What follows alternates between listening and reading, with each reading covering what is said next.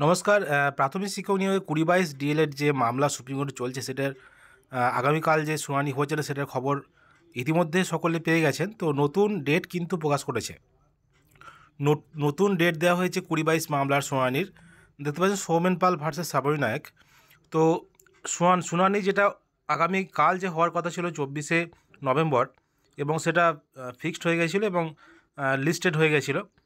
তো যেহেতু আগামীকাল honourable justice Hima Kohli madam বসছেন না, সেহেতু কিন্তু আগামীকাল এই কুড়ি বাইশ মামলাটি কিন্তু উঠছে না। সেজন্য নতুন ডেট প্রকাশ করেছে এবং নতুন ডেট দেওয়া হয়েছে। দেখতে পাচ্ছেন ডায়েরি নম্বর কেস নম্বর এবং যেটা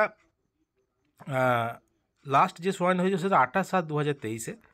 তো সেটা নতুন যে ডেট আপডেট হয়েছে, সে ডেটটা আমি দেখাবো।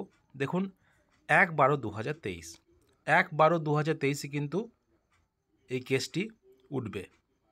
তাহলে ফার্স্ট ডিসেম্বর দু হাজার তেইশ কম্পিউটার জেনারেটেড ডেট তো তার দু একদিন আগেই কিন্তু লিস্টেড হবে। তার দুদিন আগে লিস্টেড হয়ে যাবে। তো এইটা, এটা কিন্তু কম্পিউটার জেনারেটেড ডেট যে এক তারিখে ডিসেম্বরের এক এক তারিখে। তো যাই হোক, আমরা ভালো কিছু আশা করব যে তিনি অবশ্যই বসবেন হয়তো। যেহেতু তিনি চব্বিশ তারিখে বসছেন না, আগামীকাল বসছেন না এবং বেশ এক সপ্তাহ পরেই কিন্তু আবার ডেট দেওয়া হয়েছে।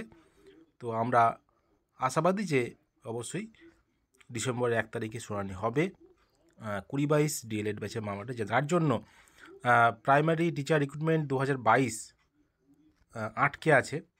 তো এই কেসটা কিন্তু উঠবে আগামী ফার্স্ট ডিসেম্বর দু হাজার তেইশ যারা নিয়োগে অংশগ্রহণ করেছিলেন, তারা কিন্তু তাদের, তারা কিন্তু খুবই হতাশার মধ্যে পড়ে গেছিলেন। আজকের যে খবরটা শুনে যে আগামীকাল যে লিস্টেড হয়েও যে শুনানি হচ্ছে না, যেহেতু জাস্টিস বসছেন না।